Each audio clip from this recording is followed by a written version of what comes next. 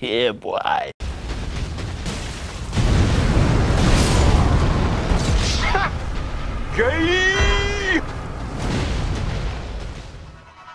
Hello everybody, I'm Bob Loud.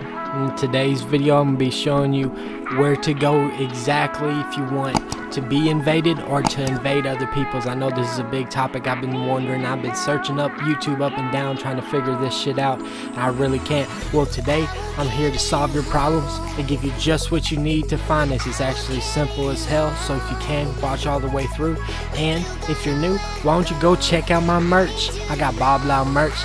Every single item is great and it would help me out greatly if you'd go ahead and purchase. So anyways, if you want to watch this video, let's get to it.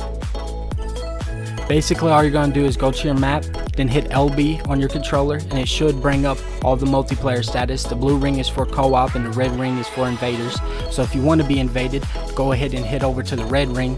And if you want to invade other people, go ahead and head to the blue ring. Simple as that. And if you did find this guide useful, go ahead and like, comment down below what your favorite part of the video was or if you found this useful and subscribe. It only helps me out. It makes me want to post more content. Thank y'all everybody for tuning in. This is Bob Loud out. Yeah, by the way, I'm the plug.